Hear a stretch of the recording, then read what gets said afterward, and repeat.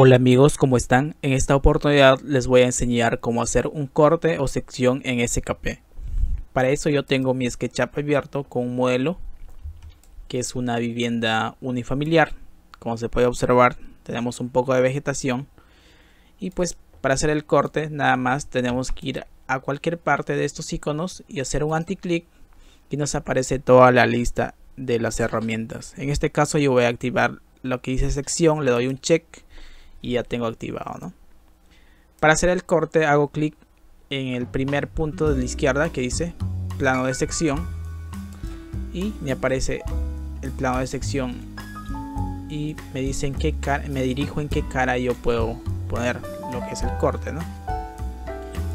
si quiero un transversal me ubicaré en esta parte un longitudinal mirando hacia allá a la derecha sería en este lado yo le voy a hacer un corte en el lado derecho. Y también se puede hacer de la parte superior de la parte inferior del lado que se quiera ¿no? yo le voy a hacer de este lado. Le voy a poner un nombre. Corte. Corte A. Y listo. Como se puede observar mi corte ya le está cortando a la edificación. Ahora para moverlo, yo selecciono el plano de corte. Al momento de seleccionar se me pinta de otro color. Y con la tecla M de mover, selecciono M y hago clic sobre el plano. Y empiezo a mover en el lado que yo desee. Entonces yo le voy a dejar, a ver, le voy a mover en esta parte deseo que me corte esta parte. Y hago clic nuevamente y ya me está cortando todo ese lado. Tenemos un corte en perspectiva. Ahora para quitar este plano para que no se pueda ver pero que siga cortado la edificación nada más activamos el siguiente punto que dice mostrar plano de sección. Le damos clic y desaparece le damos clic y nuevamente aparece. En este caso yo le voy a dejar así desaparecido. Tengo mi corte libre ahora el siguiente punto es mostrar el corte de sección. Por ejemplo acá puedo yo activar y desactivar el corte si hago clic desactivo el corte. Si hago clic activo el corte. Y así sucesivamente en el siguiente punto dice lo que es mostrar relleno de sección. Como se puede observar en esta parte no tenemos nada relleno. Entonces para ponerlo un relleno o un color a todos los elementos cortados hacemos clic en este botón. Como se puede observar ya se, se rellenó de color negro.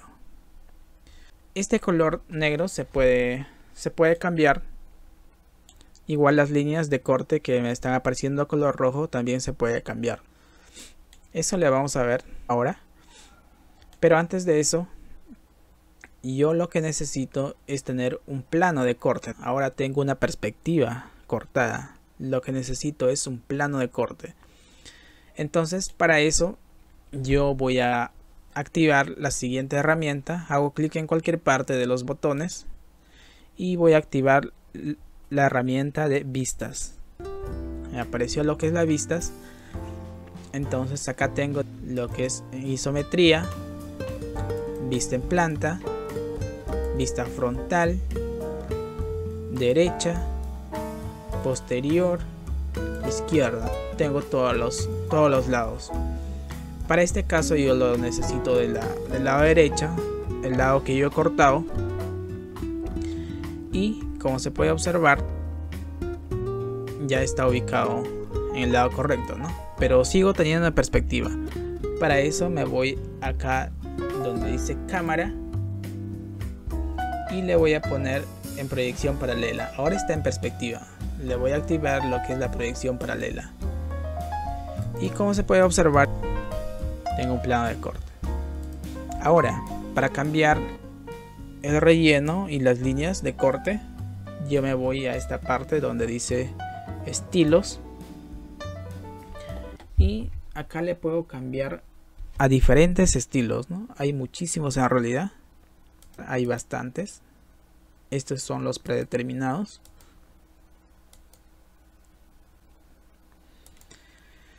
Yo voy a elegir este que dice línea oculta porque más me sirve para exportarlo a AutoCAD digamos y se puede editar ¿no? una vez seleccionado el estilo se puede editar. Acá en edición se puede ajustar lo que es la cara. Se puede poner en modo alámbrico eh, en modo normal.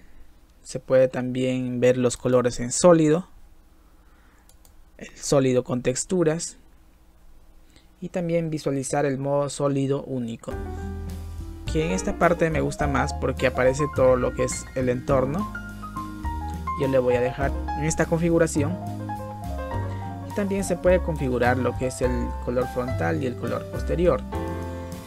Acá le puedo cambiar el color y me aparece lo que es gris. En este caso yo le voy a dejar en blanco como viene por defecto y el color posterior se puede editar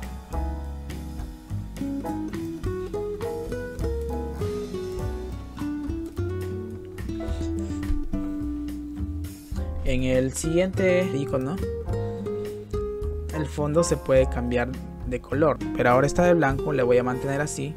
También se puede activar lo que es el cielo. También se puede activar lo que es el suelo. Y cada uno de estos se puede cambiar de color. En esta parte de acá yo le puedo cambiar el color del cielo. Le puedo poner un color más turquesa. Y aparece de esta forma, ¿no? Igual el suelo también le puedo cambiar quizás un color más marrón dependiendo de presentación y se puede activar y desactivar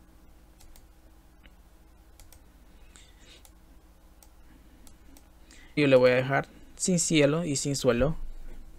Depende de ustedes que quieran en qué estilo dejarlo en qué configuración mantenerlo.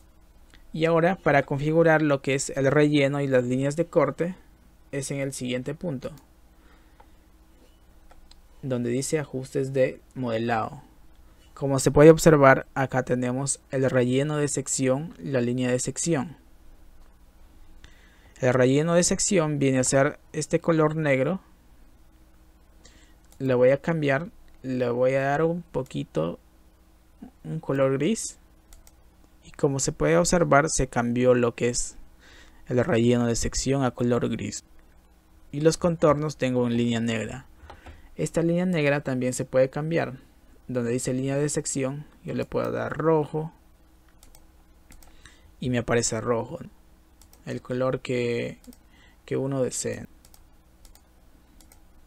El color que uno desee le puede mantener la línea de sección. En este caso igual yo le voy a mantener en color negro. Y también se puede dar grosor a la línea. Acá dice anchura de la línea de sección. Ahora está en número 3 lo puedo dar un 7 tal vez. Y se ve cómo cambia el grosor. En este caso yo lo voy a trabajar con 3 me parece que es lo correcto a mi gusto. Y bueno una vez hecho esto ya tenemos el corte.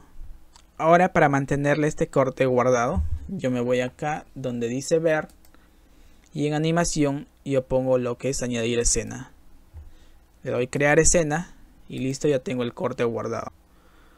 Por más que yo con la herramienta orbitar haga esto y haga clic en la escena 1 nuevamente me va a dirigir a lo que es el corte.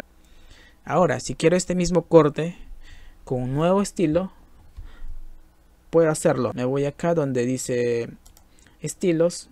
Por ejemplo le voy a voy a usar los estilos variados que en realidad hay bastantes. Ustedes pueden ver acá. Incluso hay aristas de boceto donde se puede usar para algún concepto de presentación, tal vez algo esquemático. Hay bastante acá. Hay muchos en realidad. Y yo voy a usar lo que es estilos variados para hacer otro ejemplo. Y voy a seleccionar este que dice garabato, que es una forma de dibujo sobre un papel. Y para guardarlo, nada más me voy acá donde dice escena 1, le doy anti-clic y le digo añadir.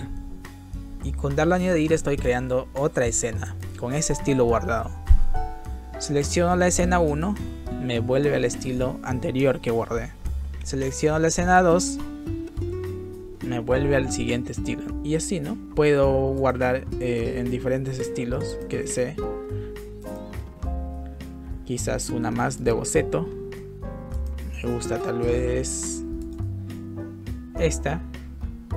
Le voy acá a decir añadir. Y se tiene guardado la siguiente configuración. Escena 3, lo que es boceto. Incluso yo le puedo cambiar el nombre le puedo dar boceto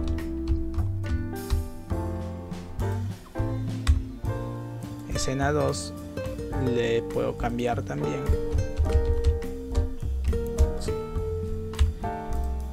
Y la escena 1 que quizás sirve para ponerlos en nuestras láminas. Y esto también se puede lo que es acotar. Se puede acotar.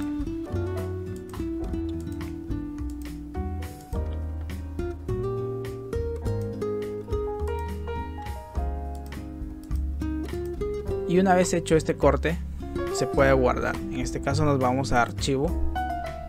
Nos vamos a exportar gráfico 2D y acá seleccionamos en qué extensión queremos guardarlo. Puede ser PNG, PDF, JPG que también tiene lo que es el AutoCAD.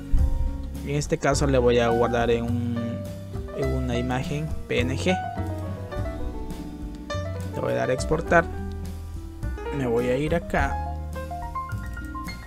y tengo lo que es la imagen en PNG, lo que he exportado hace un momento. Y como se puede observar amigos, eso vendría a ser la herramienta de sección. Espero que les haya servido. Y eso es todo. Gracias.